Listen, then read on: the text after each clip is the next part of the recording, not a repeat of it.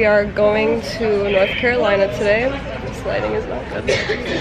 I'm with uh, Austin, Austin, Blakey, and Cassandra.